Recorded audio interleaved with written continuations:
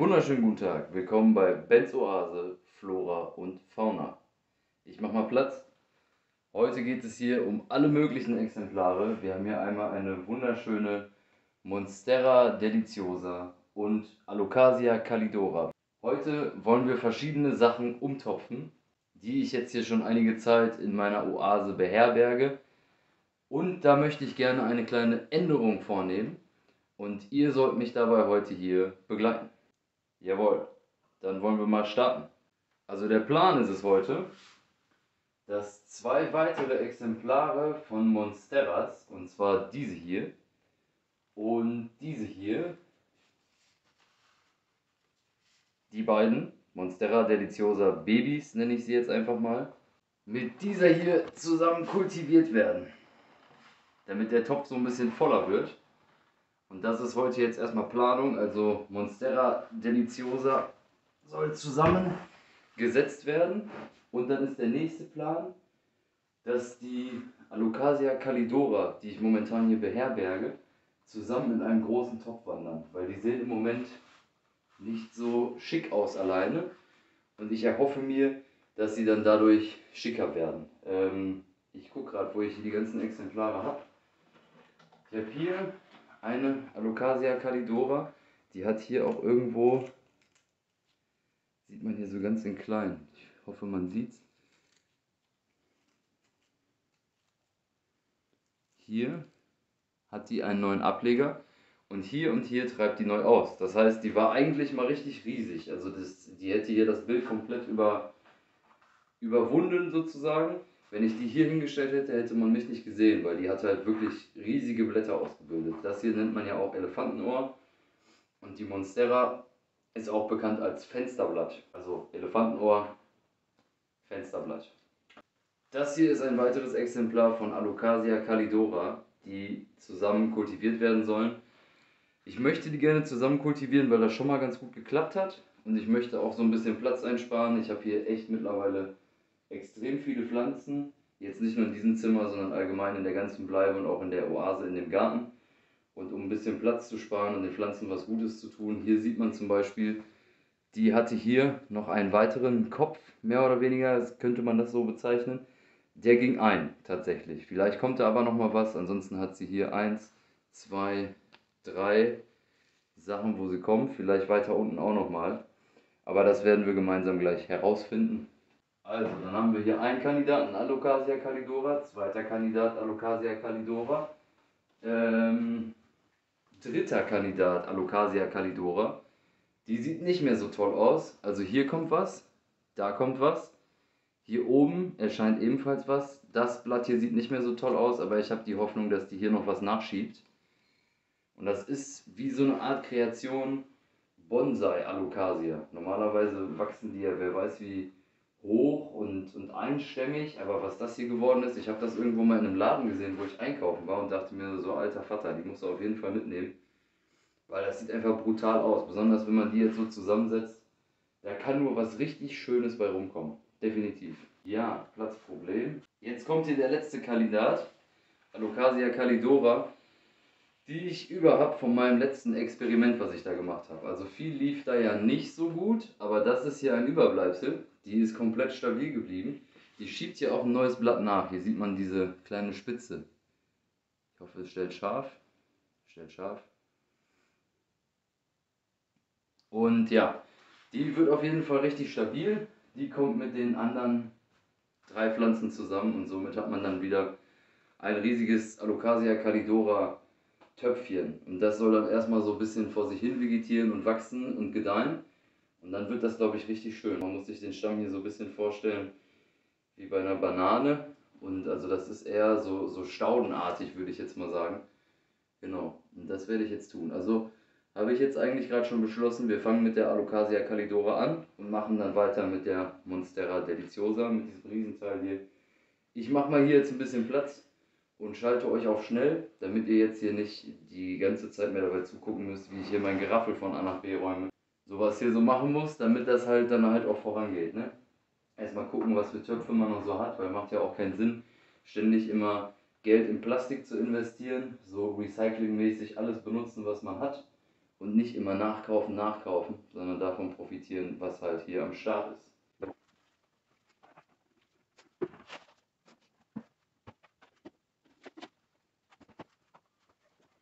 So, also ich stelle mir das eigentlich so vor, dass die jetzt hier aus ihren Töpfen rausgeholt werden und in einem großen gemeinsam hinein kultiviert werden.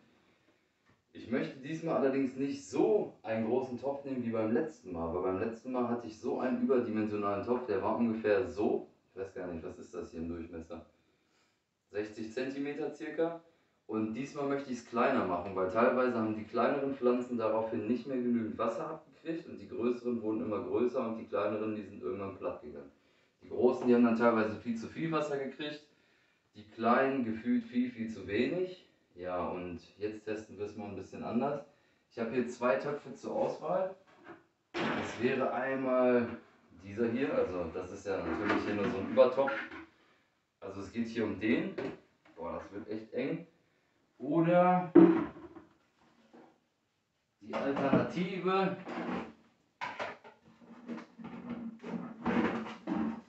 Der alternative Topf wäre der hier. Ich glaube schon fast, dass der sich mehr anbieten würde als der.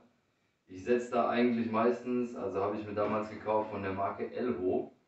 Weil ich finde, da lässt man so viel Kohle für einfach nur so ein Stückchen Plastik. Und soweit ich weiß, setzt Elvo auch auf Recycling. Aber ich bin mir ja genau, made with recycled materials. Das ist doch super. Genau, mit ähm, Drainage Holes, das ist hier unten. Oh, das äh, ist hier unten, damit das Wasser halt ablaufen kann. Und wenn, du da, wenn, wenn man das irgendwie in so einen Topf reinstellt, dann steht das hier quasi nicht drin, sondern hier ist halt so ein kleiner Absatz von, ich sag mal, weiß ich nicht, zwei Zentimetern.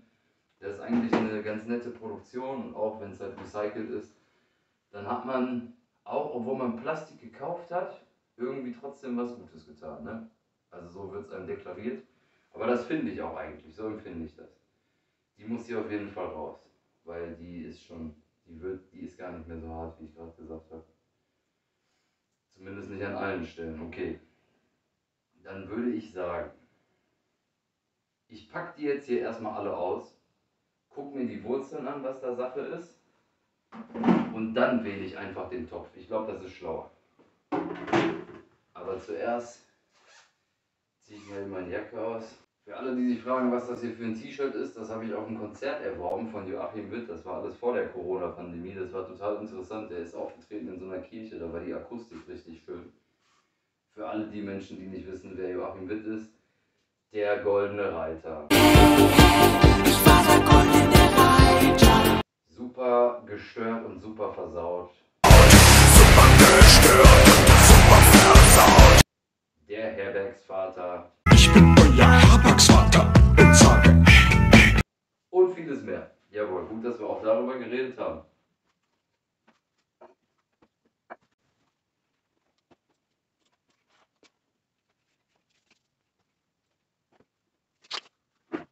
okay, ich habe mich jetzt eigentlich für diesen Topf hier entschieden. Also den kleineren von den beiden, weil die Pflanzen haben gar nicht so krasse Wurzeln, wie ich vermutet hatte. Und ich glaube, das wird schon passen.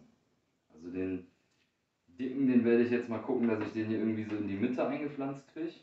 So, und ich muss auf jeden Fall viel, viel weniger gießen. Weniger ist oftmals mehr. Auch wenn das manchmal so ein bisschen an eine Bananenstaude erinnert. Also die Fachmänner und Fachfrauen und Fachdiversen, die werden mich jetzt hier wahrscheinlich lynchen, dass ich das sage, dass mich das an eine Bananenstaude erinnert, aber für mich ist das irgendwie so. Vielleicht, weil ich die irgendwann mal in einem Bauhaus irgendwie nebeneinander habe stehen sehen, ich weiß es nicht.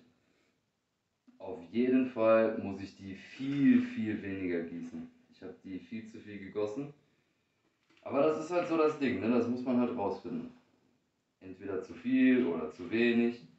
Auf jeden Fall muss ich die Alokasien bisher so beschreiben, dass sie relativ zickige Pflanzen sind. Also ich hatte auch eine Alocasia Polly, die sieht man auch in irgendeinem Video von mir von vor einiger Zeit. Und das war einfach eine übelste Zicke. Also entweder zu viel gegossen, zu wenig gegossen, da muss man echt ein Feingefühl entwickeln. Und da kann man jetzt auch nicht irgendwie sagen, weiß ich nicht, alle drei Tage mal gießen, weil Gießen ist ja auch für jeden immer so eine individuelle Sache. Also habe ich festgestellt, der Detlef Römisch hier zum Beispiel, der alles immer so ungekattet hochlädt, krass beeindruckender Pflanzenpflanztyp. Der erzählt immer was von irgendwelchen Mikro-Siemens und, und Einheiten und Milliliter und was weiß ich. Aber ich habe noch nie irgendeine Gießkanne von mir oder irgendwelche UV-Strahlen von mir hier abgemessen. Das würde ich, wenn dann, vielleicht bei den Schildkröten machen hier, weil, weiß ich nicht, die kommen halt auch, wenn ich mit denen spreche und so, aber ich glaube nicht, dass ich jetzt da Bock drauf hätte, für meine ganzen, weiß ich nicht wie viele hunderte Pflanzen, immer irgendwelchen Mikrosiemens abzumessen. Aber ich finde es mega beeindruckend, dass es jemanden gibt, der sowas tut. Also Chapeau, Hut ab an dieser Stelle. Aber für mich persönlich wäre das jetzt nicht der Weg.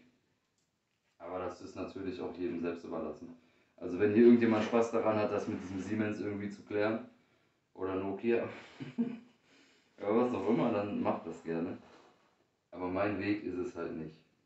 Noch nicht, vielleicht kommt das ja noch. Der Detlef Römisch, der ist ja nicht, der ist ja auch nicht erst seit gestern dabei, der macht das ja schon ein bisschen länger als ich.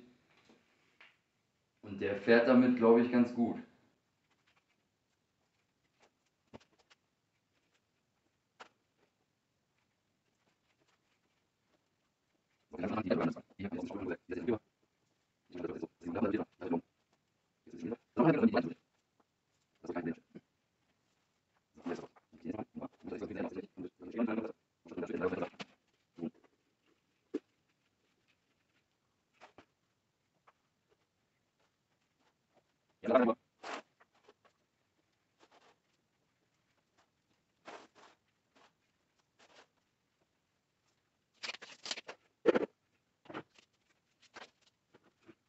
Jawohl, dann haben wir das auch geschafft, diese Umtopfaktion. Also so sieht das gute Stück jetzt aus. Da befinden sich jetzt 1, 2, 3, 4, 5 Alocasia calidora drin. Über dieses gute Stück habe ich ja quasi schon mal ein Video gemacht, wo ich die ganzen Informationen erzähle, wo kommen die vor, wie heißen die und so weiter. Deswegen will ich mich da jetzt nicht wiederholen. Ich kann nur sagen, dass die Alokasien, wie ich gerade schon erwähnt habe, zickige Pflanzen sind. Also da muss man sich echt rantasten. Ich würde sagen, die sind eher schon für Fortgeschrittene. Oder ich stelle mich da einfach so ein bisschen bräsig an. Ich bin auf jeden Fall so der Baumtyp und der Palmentyp. Aber Alokasien, das ist manchmal so ein bisschen schwierig. Auf jeden Fall ist jetzt der Plan, die kommt jetzt hier rein. Und die wird erstmal nicht gegossen, weil die Erde noch ein bisschen feucht war. Genau. Somit ist das erste Projekt abgeschlossen. Wunderbar. Die sieht doch richtig schick aus. Jetzt geht selbstverständlich weiter im Text. Also die Alocasie haben wir beendet und es geht weiter mit der Monstera Deliciosa. Da ist sie. Tun wir das Riesenteil hier mal drauf. Und dann gucken wir mal. Also da ist jetzt so ein Stab auch schon mit eingebunden, weil das liegt nämlich daran, dass die Pflanze keinen Stamm bildet, der die Pflanze eigenständig aufrecht gehen lässt. Das bedeutet, die braucht was, das ist eine Rangpflanze in freier Wildbahn im Dschungel. Da wächst die an Bäumen und an Palmen hoch oder auch am Bambus oder wo auch immer. Und die wird, ich will jetzt keinen Scheiß erzählen, ich meine, ich habe herausgefunden, 30 Meter hoch, bis zu 30 Meter kann die wirklich tatsächlich wachsen. Und die Blätter, die man sieht, die können bis zu 50 cm breit werden. Also das werden so richtige Apparate. Und wenn die Pflanze viel Sonne abkriegt, passiert diese Aufteilung. Also das bedeutet, dass die hier so Einkerbungen bekommt. In welchem Blatt sieht man es denn noch gut? Hier vorne. So sieht ein richtig gesundes, originales Monstera Deliciosa Blatt aus. Und das wird dann halt von Blatt zu Blatt kann das immer noch viel größer werden. Bei ihr ist das jetzt so, die hat jetzt nicht den allerbesten Standort bei mir hier in der Wohnung. Und deswegen bildet die halt nicht so viele Blätter mit diesen Löchern aus. Der Pflanze geht es trotzdem gut. Aber das ist hier wie so die finale Form, könnte man sagen. Also klar, besser geht immer. Aber ich bin schon ganz schön zufrieden mit der, weil ich habe die auch bekommen, wo die ungefähr so groß gewesen ist. Und das ist schon ein krasses Upgrade, wenn man sich das jetzt anguckt. Hier ist die in so einem kleinen kleinen Töpfchen gewesen und die füllt jetzt hier mit ihrem Wurzelwerk echt schon komplett den ganzen Topf aus. Also ist genau dieselbe Geschichte wie mit der Alocasia calidora, ähm, dass hier noch ein weiterer Topf drin ist und das hier wie so der Übertopf ist. Genau.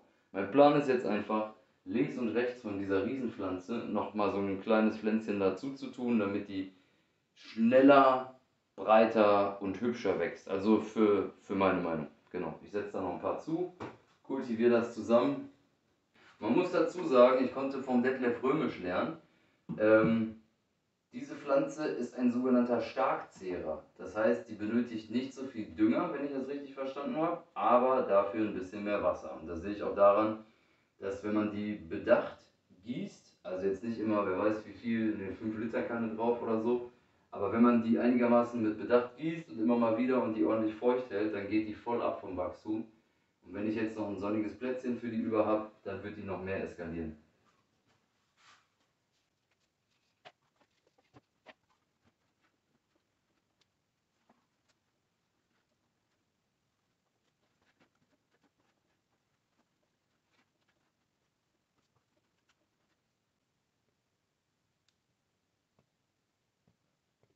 Jawollo, so sieht das Teil jetzt aus. Monstera Deliciosa ein bisschen breiter gemacht. Ich möchte dazu noch gerne erwähnen, dass diese Pflanze wie so Luftwurzeln ausbildet. Das bedeutet, hier zum Beispiel kann man die erkennen. Diese, dieser kleine Pin hier oder auch das hier. Oder hier sieht man das auch und hier. Und damit versucht sich die Pflanze um den Baum gegebenenfalls in freier Wildbahn drum zu wickeln und weiterzumachen. Das sind halt Luftwurzeln wenn man jetzt an der Stelle was abschneiden würde und das in Wasser stecken würde, könnte man die Pflanze auch so vermehren. Aber dazu kann ich nochmal ein extra Video machen. Ich hätte mir jetzt also diese zwei weiteren Monstera in klein nicht kaufen brauchen, sondern ich hätte mir auch selber Ableger holen können. Aber der Preis, der war einfach unschlagbar. Das Ding ist halt, dass in so Kaufhäusern, egal ob jetzt in irgendwelchen Baudiscountern oder auch Lebensmittelläden, da gibt es manchmal Pflanzen. Und ich weiß halt von einer Bekannten von mir, die in einem Lebensmittelladen arbeitet, dass die tatsächlich auch Pflanzen beziehen. Die kriegen die von einem Großhändler, haben aber den klaren Auftrag, die dürfen nicht gießen. Weil dann ist der Laden dreckig, weil die haben dann keine Untersetzer. Und wenn man sich anguckt, in was für Töpfen die verkauft werden, also in solchen hier, da sind da drunter Löcher und dann setzt man halt den ganzen Laden unter Wasser und deswegen wird das einfach strikt nicht gemacht. Das bedeutet, irgendwann ab einem gewissen Zeitpunkt verkauft der Laden die Pflanzen dann unterm Einkaufswert oder unter dem Einkaufspreis, den der Laden selber gezahlt hat. Ja, und dann kommen so Menschen wie ich um die Ecke und sagen, boah, das kann doch nicht sein. Weil wenn die Pflanzen nicht gekauft werden, dann gehen die kaputt und werden einfach weggeschmissen. Das heißt, es wurden etliche Ressourcen verbraten. Ne? Wasser, Dünger, Erde, Lieferungen, die sind teilweise gefühlt um die halbe Welt gefahren. Die kommen irgendwie aus Ecuador, aus Spanien, Italien, Griechenland, was auch immer. Ja, okay, halbe Welt wäre jetzt vielleicht dann eher Neuseeland, aber das ist ein anderes Thema das behandle ich da oben mit der Erde Ringe. Nee, das ist natürlich nur ein Spaß. Eigentlich bin ich nicht so der Mensch, der sagt, boah, hier kauft ihr jeden Ramsch, aber bei Pflanzen, das sind halt auch irgendwie lebende Organismen und das finde ich halt echt schade, wenn die einfach weggefeuert werden, vor allem wenn man sich überlegt, was die für einen Weg schon hinter sich haben, ne? Ja, dann ist das jetzt hier auch abgeschlossen. Ich bin gespannt, was daraus wird. Ich mache nochmal einen Direktvergleich. Monstera Deliciosa, Alocasia Calidora und somit sind wir fertig. Ich danke euch vielmals, dass ihr wieder eingeschaltet habt. Die nächsten Tage kommen dann noch weitere Sachen. Wer mich auf Instagram verfolgt oder auf TikTok oder Facebook, ich äh, poste das meistens so, dass ich auf Instagram Sachen hochlade, die dann ebenfalls auf TikTok hochlade und auf Facebook. Also das ist alles immer so synchron. Das heißt, wenn jemand kein Instagram hat, kann er mir auf TikTok folgen. Wenn er kein TikTok hat, haben die meisten Facebook. Oder es findet sich alles hier ein. Diese ganzen Shorts-Videos, die es hier gibt, die sind auch alle die, die Instagram entsprungen sind, beziehungsweise meiner Feder. Und daraufhin findet sich alles zusammen. Das heißt, wer mir hier, wer mich hier abonniert, das wäre natürlich mega toll. Ich freue mich mega über die 111 Abonnenten. Hoffentlich werden es noch bald mehr. Ich freue mich darüber. Ich finde das richtig cool, dass ihr hier so am Ball bleibt und mir auch die Kommentare schreibt und so weiter. Und es kommen auf jeden Fall noch mehr Videos über Calathea, Palmen, Palmen in Deutschland, äh, die Oase, Schildkröten, ähm, Yucca, Drachenbäume, Bäume, Zitruspflanzen und, und, und, und, und. Ich hatte auch überlegt, ich stehe jetzt hier gerade in so einem Raum, der jetzt hier so mein Hobbyraum geworden ist, mit Bens Oase quasi mit den Schildkröten mit den Pflanzen und auch mit einer Kraftstation. Wenn ihr zum Beispiel mal ein Review haben wollt über diese Kraftstation, ich kann euch dann auch mal die Marke hier natürlich nennen, dann kann ich euch mal so ein bisschen zeigen, ob das Teil cool ist. Wenn ihr wollt, schreibt es mir in die Kommentare. Ansonsten mache ich es vielleicht trotzdem, auch wenn keiner was sagt, weil vielleicht erreiche ich dann jemanden, den ich damit weiterhelfen kann. Hab das Gerät dann nochmal durchgetestet, obwohl ich das eh schon habe, aber man weiß ja nie. Alles klar. Ich danke euch fürs Einschalten. Wenn ihr Beiträge hiervon sehen wollt über die Alocasia calidora oder über die Monstera, Fotos werde ich hier auf YouTube nicht teilen, aber das mache ich dann natürlich auf Instagram. Und ja, schaltet wieder ein, wenn es wieder heißt Benzoase, Flora und Fauna. Bis bald. Ciao.